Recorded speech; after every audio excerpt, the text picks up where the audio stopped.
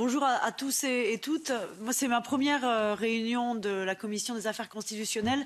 Parce que vous savez, il y a des places qui se sont libérées dans les commissions suite au Brexit. Et euh, du coup, bah, j'ai saisi euh, l'occasion pour siéger dans une troisième commission.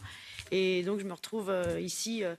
et j'en suis ravie. en fait, à, la base, moi, ce qui m'a motivé à, à, rejoindre la commission AFCO, c'est le sentiment qu'il est urgent, plus que jamais, de démocratiser euh, l'Union européenne et de, euh, de, la rendre plus lisible et plus transparente pour les citoyens. Et euh, il me semble que la commission AFCO, donc c'est le lieu adéquat pour travailler dans, cette, direction-là. Les citoyens, ils ont besoin de, savoir ce qui se passe derrière le, les murs des institutions européennes. Et la Commission et le Parlement vont dans la bonne direction. Vous voyez, à l'entrée, par exemple, pour prendre cette anecdote, sur la porte de la salle, cette réunion est diffusée en streaming, comme euh, l'ensemble d'ailleurs, la plupart des réunions de, nos commissions.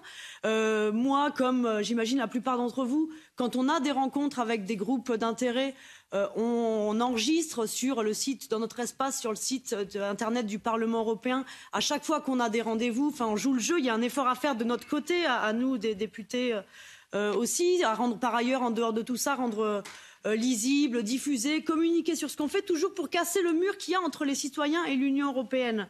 Euh, mais là où on constate une vraie, vraie, vraie opacité, et moi, dans les quelques mois, là c'est mon premier mandat, les quelques mois après les élections européennes, là où je la constate euh, euh, d'autant plus cette opacité, c'est au niveau du Conseil, au niveau du Conseil européen.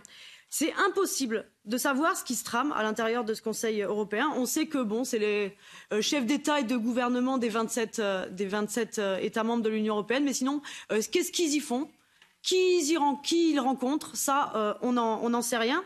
Je voulais aussi, petite parenthèse, déplorer d'ailleurs que mon pays, la France, donne le mauvais exemple. Euh, euh, il y a eu un projet de réforme pour plus de transparence qui a été déposé au Conseil. Il se trouve qu'il y a un seul pays qui a bloqué ce projet, c'était la France, par la voix du président Emmanuel Macron, lui qui disait vouloir démocratiser l'Union européenne et qui maintenant euh, est le premier défenseur du huis clos et de l'opacité. Je m'excuse, je vous présente mes excuses pour ça. Mais monsieur le commissaire, euh, j'ai lu vos réponses aux questions écrites euh, qui, qui ont lieu dans le cadre des auditions avant que vous soyez nommé commissaire. Et dans ces réponses, vous disiez justement vouloir travailler en étroite collaboration avec le Conseil pour plus de transparence tout au long du processus législatif. Et d'autre part, vouloir finaliser les négociations interinstitutionnelles sur le registre de transparence. Du coup, j'ai deux questions. D'abord, en tant que vice-président de la Commission en charge des relations interinstitutionnelles, comment pouvez-vous travailler avec nous pour que les gouvernements européens rendent publiques les positions qu'ils défendent au Conseil? Et deuxième question, Concernant les rencontres avec les lobbyistes, la majorité des gouvernements présents au Conseil est à la traîne et refuse catégoriquement de les rendre publics. Comment concrètement comptez-vous vous y prendre pour finaliser les négociations sur le registre de transparence? Merci. Pour être euh, tout à fait juste, je crois que nous aurons besoin d'avancer des deux côtés. La discussion entre la Commission et le Parlement a été euh, conduite par M.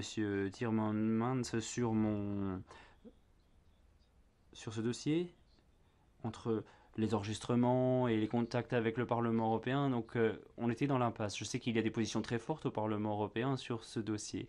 Mais si le Parlement faisait un pas vers le Conseil et respecter les règles que l'on applique à la Commission, ce serait vraiment un message clair, je pense, un message fort pour la transparence de nos activités au sein de l'UE. Et ça aurait un, un effet de levier fort pour le Conseil.